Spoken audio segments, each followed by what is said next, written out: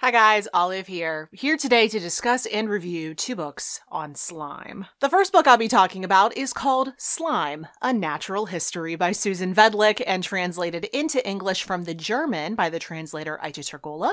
This book was published in 2023 by Melville House, which is an independent publisher, and the hardcover copy that I checked out from my local library comes in at 336 pages. This book is about the disconcerting and yet oh so important substance that we call slime.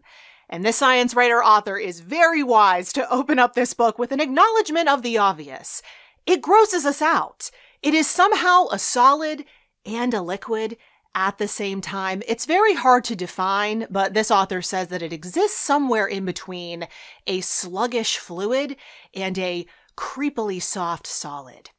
It moves in an unnatural way. I mean, it seems to scream at us that disease and death lie ahead, which is probably why it is so closely attached to horror flicks and science fiction novels. It gives us the ick, and not for no reason. The earliest sections of this book take on our perceptions of slime, all the social learning that takes place that instills within us this innate response to steer clear of it for often very valid reasons. And then how that has translated into the different types of cultural depictions that we know of slime that make it the perfect prop for a Halloween party. But after she's done discussing everything from Ghostbusters to the human disgust response, she talks about how we as readers should push past all of that to read a whole book on the stuff. Because even though we are repulsed by all things ooey gooey, we're liable to forget that they serve as the basis of our biology. We originated from them, and they still serve myriad critical functions here on Earth, which includes inside of our bodies. What follows those earliest sections are seven themed parts in which she discusses all of those functions. And she begins every chapter within the larger parts with a short anecdote that initially seems like it's coming from out of nowhere, but you'll see that it has something to do with the information that she's eager to share. And she's eager to share it because it is fascinating. Like she talks about how cells use a slime barrier to protect themselves from pathogens. It has also allowed us land creatures the ability to breathe outside of the ocean because it keeps our passages hydrated and as free from harmful microbes as possible. Then she discusses the ways that other creatures on Earth use and really rely upon slime to get by. Some of them use it to protect themselves with, others use it to hunt with. There are some plants that cover their seeds in a type type of slime, using the sticky nature of it to help allow those seeds to venture further out into the world. They'll have a better chance of survival. Other animals use slime for other reproductive purposes. And then there are the creatures like jellyfish who are almost entirely composed of the stuff. It makes them more buoyant. Slime is so important that life very likely arose from it, although not in the primordial ooze way that Ernst Haeckel theorized. You can look forward to hearing about how that theory was debunked in this book. But to counter that theory, Wedlich also discusses what we currently understand about how life likely originated and how some of that probably happened under a cover of slime. By the time you reach the end of this book, you will have pushed right past that gag reflex and you will have acquired a taste for slime. So to speak, anyway. At the very least, the word slime won't just bring to mind images like flubber or those creepy alien like slime molds pulsating like they're plotting something. Instead, you will see that slime is so much more than that. It's something essential. It's something that we need inside of our bodies. It's something that other creatures rely on just to get through every single day. And it is also something that we can thank for our mere existence here on Earth. And beyond all of that, it's just really cool. I have to give a ton of credit to this book, to this author, for being able to pull off that kind of a magic trick to turn something that previously grossed you out into something you can't learn enough about, that's really impressive. And I think a lot of that comes down to the fact that this author is clearly so fascinated by slime.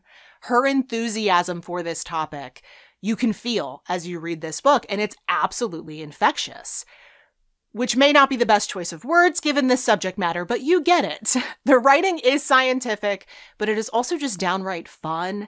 Those anecdotes that start off the chapters that I mentioned earlier, they really have a way of pulling you in. If only because at first you'll find yourself wondering, where is she going with this? Because they do seem very out of left field, but her intention becomes clear very quickly.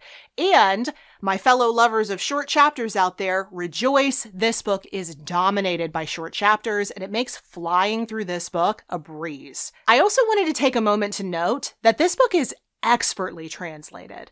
Like if I hadn't have known that this book had been translated into English, if it wasn't prominently displayed on the cover of this book, I never would have guessed that this book was translated because it reads so naturally in English. I'm definitely going to be keeping an eye out for future works that this author translates into English because this was great. Something else I wanted to mention though, although I thought this book overall was fantastic and I absolutely do recommend it, there was something that I felt was a little bit lacking and that was the absence of a proper conclusion. And maybe that was more noticeable for me because this book had such a robust intro with all of the cultural and pop cultural things that we got to learn about. It really was this great appetizer that led us into the entree, the meat of the actual book. But then we didn't get really any kind of a conclusion. The only thing we got was this tiny little afterword that served more to wrap up the final part within the book than do what a proper conclusion is supposed to do, which is reiterate the things that this author wants you to come away from the book with. This book just didn't have it. So I've turned that final page and was like, oh, that's it? It was really disappointing. So I do have to take off some figurative points for that. But other than that, I thought this book was a delight. You will never look at ooze the same way again. And you might want that buffer before going on to read the second book I'm going to be talking about, also called Slime, except the subtitle of this one is How Algae Created Us, Plague Us, and Just Might Save Us by Ruth Kassinger. This book was published in 2019 by Mariner Books, which is an imprint of HarperCollins, and my paperback copy that I purchased with my own money comes in at 320 pages. This is a book about a different kind of slime algae and the role it plays in our lives. And we learn very early on in this book that what we call algae is actually three separate things. So, first, there's the simple blue green algae, which is also known as cyanobacteria. Then there's microalgae, and those first two together are what are known as phytoplankton. And then the third thing is what I think most of us think of when we say the word algae. The third type is macroalgae, or the kind that we see. This author is also very quick to point out that, perhaps contrary to popular belief, algae are not plants. Instead, they are sunbathers. That means that they're much simpler than a plant, but they're also far more productive. They have one goal and one goal only, and that is to multiply themselves and they're very good at it. We have an abundance of algae, in some places, an overabundance. It is a highly renewable, renewable resource. And we currently do have a lot of different uses for algae, and there may be even more in the future. This book is divided into four different sections. The first one looks at how algae originally evolved and how it took over. The second is all about how we as people consume algae, meaning eating it, and how it gets onto our tables. The third section is all about individuals who have discovered different uses for algae beyond just simply ingesting it. And then the fourth section is environmentally focused, discussing things like the power that algae has to clean up pollution or positively affect climate change. There's a conversation that the author has in the second section of this book, the one about eating algae, that has really stayed with me because she talks about how eating seaweed was likely once very important for human brain development. And she says this because, and I didn't even know this, iodine deficiency was once exceedingly common for people. It was really hard for people to get enough iodine, and it had a lot of negative side effects in the human body. Like it was noticeable if you weren't getting enough iodine in your body. But seaweed has a ton of it. On top of the fact that it's full of fiber and protein and a whole host of other vitamins and minerals, it is a nutritional powerhouse. There's a reason why the Japanese eat a lot of nori, which is dried seaweed. We should really eat more of it here in the Western world. But beyond just eating it, we do have myriad other uses for algae currently, and then there are even more potential uses that are under development right now, and this author talks about those. But as she's going through discussing all of these existing products and potential products, she talks about the difficulties that companies face actually getting these things to market. Because even if research and development for these things goes off without a hitch, which it rarely ever does, the biggest challenge arises when these companies are trying to get the prices of these replacement products. They're replacing products that already exist out there. The prices need to be low enough to be able to compete with those existing products. And that's really hard to do when you have so much money put into just researching the product in the first place. As many of us know, it's expensive to go green. Although there is a discussion toward the back of this book about what we're currently seeing and can expect to see from algae as climate change continues to intensify, I would say that overall, this is a book that I think is a lot more about industries and commercial uses for algae. It kind of sits at the intersection of science and business it, rather than being a straight up nature book, which is not something I was off put by. I definitely would have still picked up this book, even if that had been clear to me going in. It's just that I don't think that's very clear when you go into this book. I think the title and or cover of this book could have done a much better job at at least hinting at what this book actually is dishing out. But this was really interesting stuff. There's a bit of adventure to it, since the author is traveling from place to place to learn about all of these algal advancements. I did find myself wondering, though, throughout the book, if there have been any new developments toward any of these products.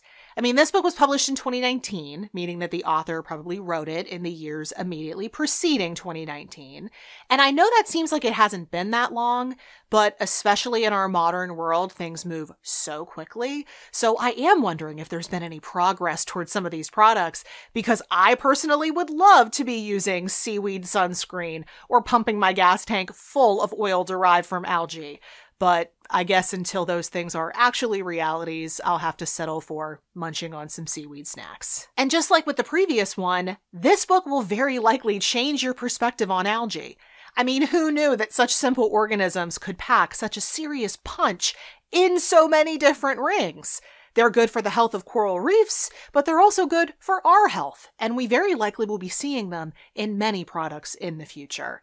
This wasn't exactly what I was expecting from this book, but I learned a lot and had a lot of fun along the way. So those were my thoughts on these two books on slimy things. Let me know in the comment section below if one or even both of these appealed to you. If you want to get your hands on a copy of one or even both of them, there will be links in the description box below to where you can do that. And also in the description box below, I've included something that I like to call the further reading section, where I've listed out some other book titles you might want to check out if this topic interests you. Thank you so much for watching. I hope you're having a wonderful day, and I'll see you in the next video. Bye.